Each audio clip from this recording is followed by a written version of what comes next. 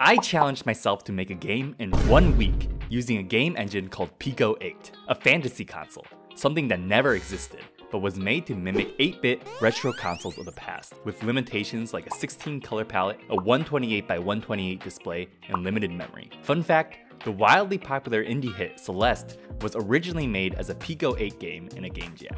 I've never used it before, and the reason for the challenge is to give myself an excuse to learn the programming language that it uses, Lua. And the reason for learning Lua? The Playdate.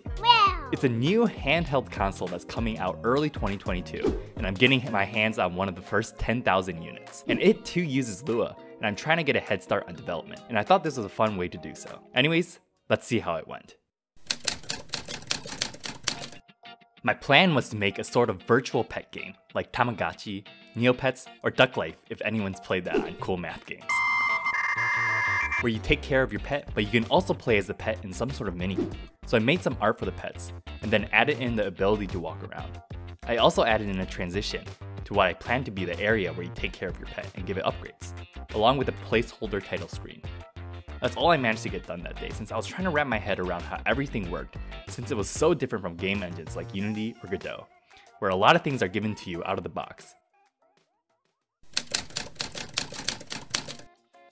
On Saturday, I had no work, so I ended up getting a lot of stuff done. I decided to make it a run and shoot type game, so I added this bullet attack, along with a skull enemy I can shoot and kill. I added a health system, along with a simple enemy AI that just moves straight towards you.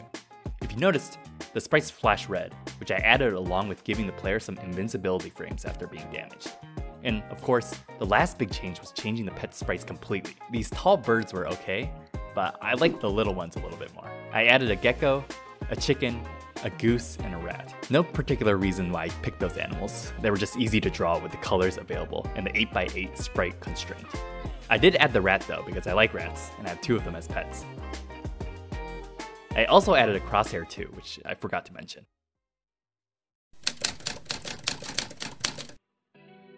I started off by having the pet wander around randomly. Then, my main plan for this day was to make a shop where you can buy upgrades for your pet.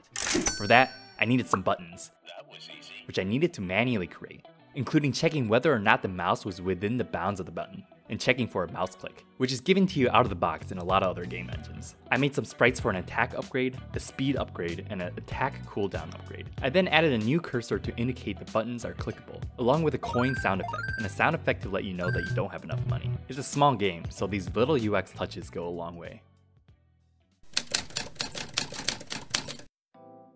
On Monday, I added buttons that allow you to buy the different types of pets and switch between them. Each pet I can customize to have different stats like their movement speed, how much health they have, among other things, to incentivize buying different ones. I really wanted to have it so that each pet had their own different types of attacks, along with like some sort of movement ability, like a dash or a roll, but there was not a lot of time, and I needed to add a bunch of things to the game still. So this would have to do. Here, I implemented the functionality of the upgrades. So for example, if I buy the speed upgrade, I can clearly move much faster. My plan for the arena was to have waves of enemies come after you. So I started implementing a spawning system that would start spawning in the skulls, and then I tweaked it to start spawning on the edges of the screen. I also added in earning money after you kill a certain number of enemies. Tuesday was a big art day. I made a new enemy, the ghoul, along with adding a little bit of grass and flowers to the background. I also made the buttons look a little bit better. It's not perfect, but it would have to do. It was a slow day because I actually had a trip planned to go to Vancouver. In hindsight, it was probably a bad time to do the challenge, but whatever. I'll catch you back in a bit.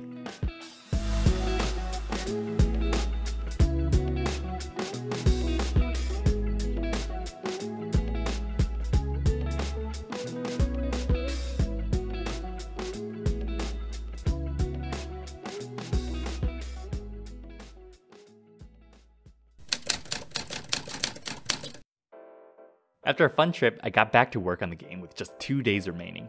My first course of action was making a third and final enemy, this terrifying clown that has more health and moves faster. I then implemented a wave system that requires you to defeat a certain number of enemies before moving on to the next wave, and each wave spawning enemies progressively faster and with a higher likelihood of spawning more difficult enemies, which in this case means more ghouls, more clowns. At this point, the game was basically feature complete, and it just needed some balance changes and extra polishing. I tried to balance the wave difficulty along with how the upgrades worked, which based off of my wife's playtesting seemed okay. Definitely not perfect, but good enough for a one week challenge. I created a simple title screen, and I went with the name Pew Pew Pets because you have pets that, that pew pew. And of course, I added the most important feature, being able to pet the pet. If you agree that this is the most important feature, maybe consider dropping a like. Helps me out a lot. And that was it for the day. A mad dash towards the end to get everything finalized. The final day was just spent making the music for the game. I created this simple kind of Pokecenter-esque beat for the non-battle part of the game.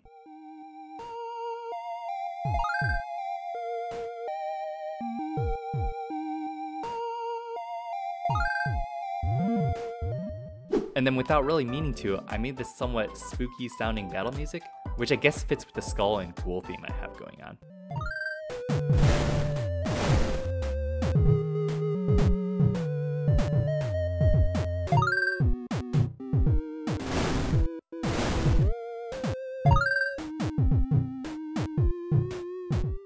Nothing too special with the music, I never made a song or beat before, but I thought it was a decent stab at it. And after all that, it was finished. I learned a lot about Lua. So in that sense, I'm quite happy because I achieved my main objective and made a fun small game out of it. If you want to check it out, you can play for free in your browser with the link down below in the description. If you beat the game, which is getting past wave 10, I made a little easter egg so you get 9,000 gold, so you can do something ridiculous like this. So if you want to try that, you'll have to beat the game. If you liked the video, consider subscribing, as I'm also planning on doing another game and one week challenge for another game engine called Love 2D. See you next time.